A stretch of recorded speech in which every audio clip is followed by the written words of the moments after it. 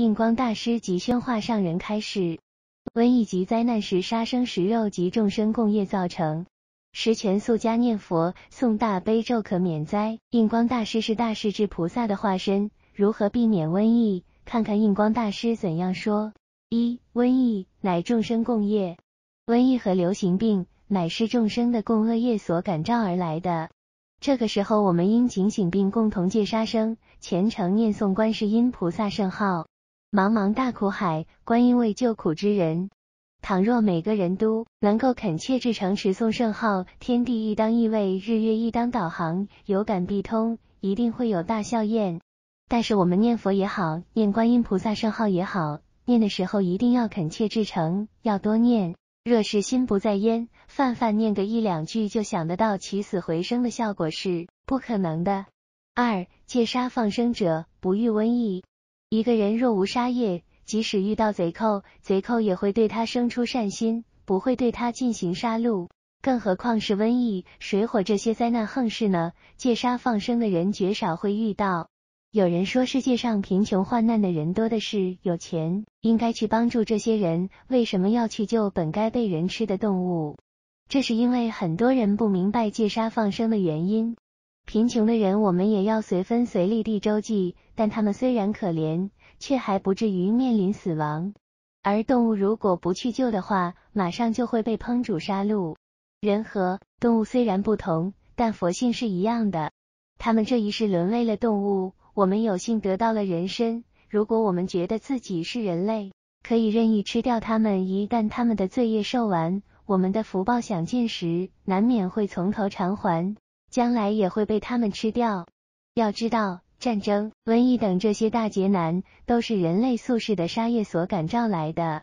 从这个角度看，爱护众生原本就是在爱护我们自己。三，凡念佛处，亦不入境。凡念佛处亦不入境，念弥陀不独妖精有念，当于村中及进村宣告，无论老幼男女，通皆吃素，念南无阿弥陀佛。大家个人在个人家里，一路做事一路念，于行住坐卧中常念，决定可以不遭瘟疫。前年各处虎疫甚剧，陕西澄城县四前镇附近死数百人，一弟子村中有五六十家人皆令念。只死两个坏人，余均无恙。甘肃甘谷和弘吉居士提倡念佛，凡念佛处亦不入境。宣化上人，一切瘟疫流行灾难是由何而来？一、瘟疫流行灾难是由吃肉造成的。现在的虚空里充满了种种毒气，我们已知道原子弹、氢气弹等是最危险厉害的武器，但有每个人口里所放出的毒。更是比什么毒都厉害，所以这世界一天比一天坏。因为受了毒气的熏染，每天醉生梦死，吃喝嫖赌蛊横崩拐骗偷，无一不精。这种情形实在是太危险了。所以若想把世界消毒，该怎么办？就要大家一起吃斋，不吃肉。能吃斋，毒就会日日减少。若要把这世界真正消毒，就要大家吃素不吃肉，因为众生肉都有毒，这种毒质是很微细微细。当你吃时不会觉察，但慢慢的就中了这种毒质，而且这种毒质特别厉害，没有什么药品可以解，因为其中的冤业太深。所以古人说千百年来碗里羹，冤深似海恨难平。欲知世上刀兵劫，是听屠门夜半声。从千百年以来，我们所吃的一碗羹肉汤，看上去只是一碗汤，可是其中的冤仇犹如海一般深。要知道，世上人与人战，家与家战，国与国战，星球与星球战，互相征战，都是由吃肉所造成的。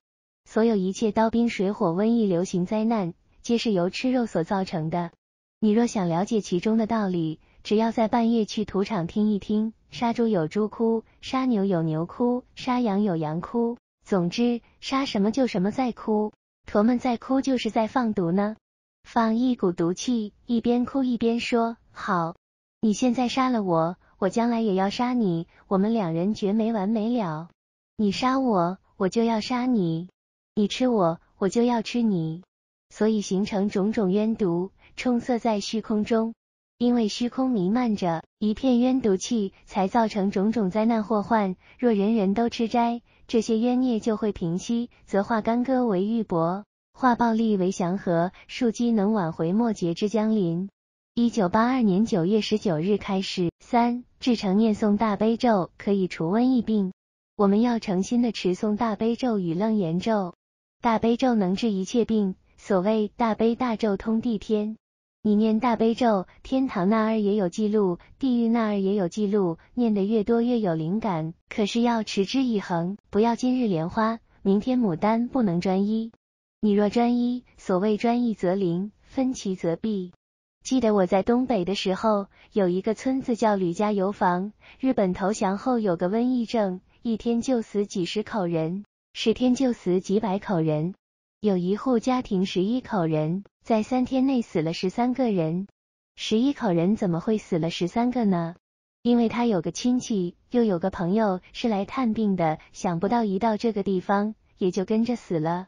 这是很严重的瘟疫症。